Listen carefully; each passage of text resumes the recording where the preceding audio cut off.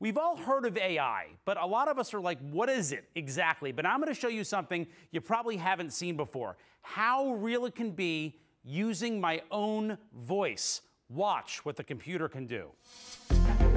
You get a call from your grandchild, your sister, your son. They're in trouble, saying they need money and it's urgent. It could be a scammer, but they sound exactly like your loved one. Artificial intelligence making it easier than ever for cyber thieves to fool you to show you in real time, my senior producer Kelly, that's her, and I peruse some AI websites that are legit used for things like podcasts and audiobooks. And it can make you say things that you never said. Mm-hmm. So what you do is you say a bunch of phrases in that are just random just so it can get to know your voice. Right. And we both did that. Yes.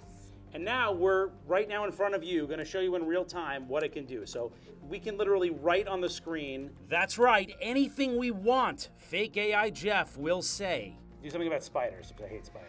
All right, I'd love to buy a tank of spiders as pets.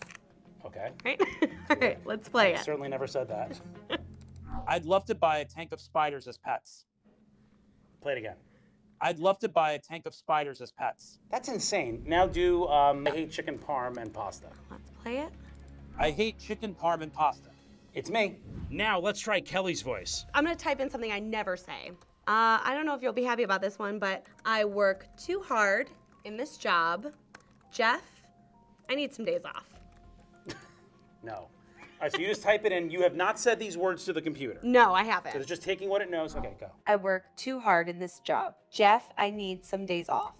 It's not perfect, but it sounds like you. Yeah. It's you. I mean, it's your voice.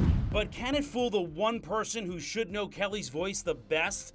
This is her mom, Diane. We put some phrases together to call her and see if she could tell the difference. Hello. Hey, Mom. Yeah, hi. What are you doing this weekend? Well, I'm going to be working in my backyard. Why? I think I'm going to see some friends. Well, I hope you have a good time. Okay, Mom. I gotta go. Bye. Okay. Bye. Love you. Hey, hey, mom. Hey, mom. Don't hang up. Yeah? Did Did you know that really wasn't actually me? Well, the way it came across.